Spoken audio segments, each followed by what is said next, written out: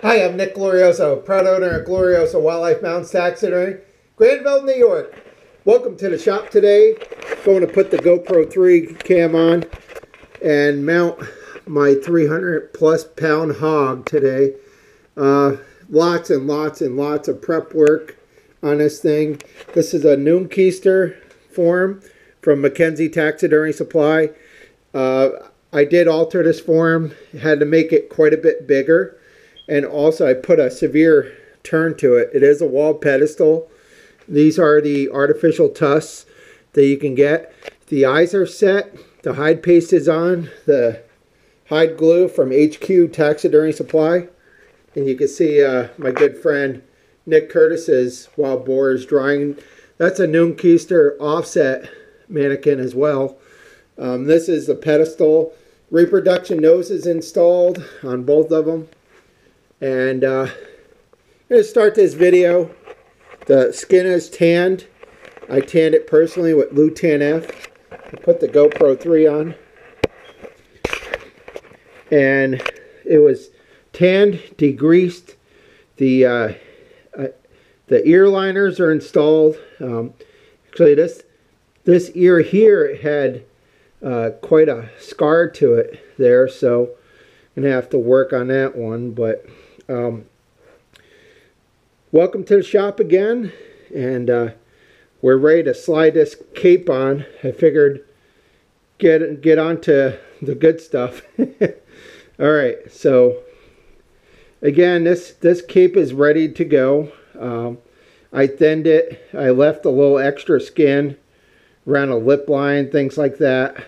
Um, so I did pre-fit this form and should slide on there really nicely. So what I like to do is put my hand right through the mouth and open this area up here and kind of just guide this thing this way. Okay.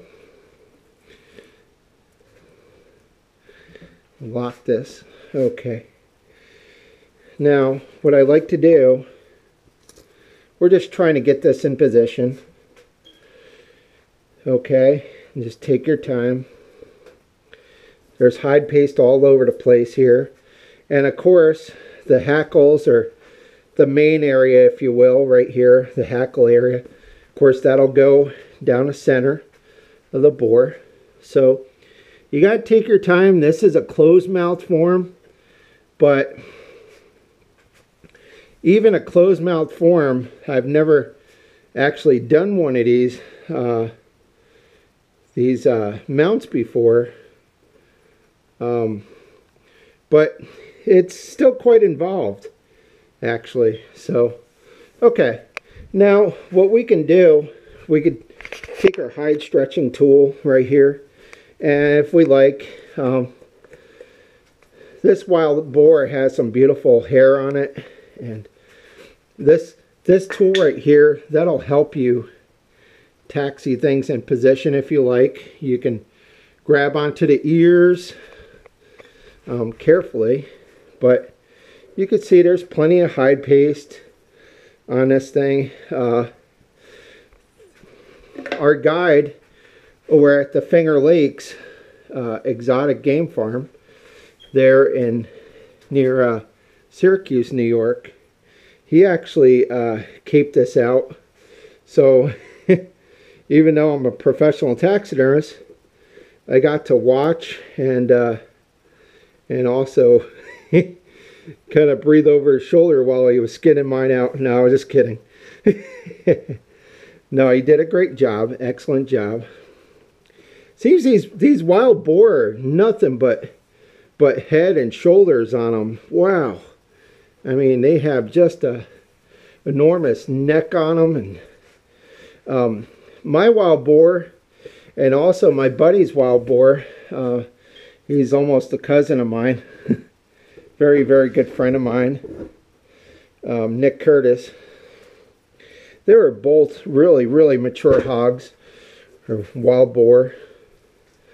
Um, this mannequin here, we have several rolls in it And right now, I'm just taking my time, just slowly getting stuff into position. Again, first and foremost, you want to make sure the, the center is where it goes, okay? Now, I'm just carefully pulling the skin around, okay? This is the armpit area. Now, of course, you want your armpit area to go just like that. You can see this the armpit area right here. Okay, this the leg. The leg was right there. Okay, that's going to go right there. I'm just going to line stuff up here. And this mannequin here is also, uh, it's a pedestal, but it's also offset. So just seeing how things going to go. And this, this other um, armpit area is right here. So, okay. Things are getting in position here pretty well. Only thing I need to move this a little bit. This armpit here is fine. This one here I'm going to have to roll around just a little bit here. And the thing about taxidermy is uh, not every form fits just like a glove uh, right out of the box, that's for sure. So you have to be somewhat of a woodworker, magician, carpenter, all the above um, to, to get them to fit right. So, all right. That's that.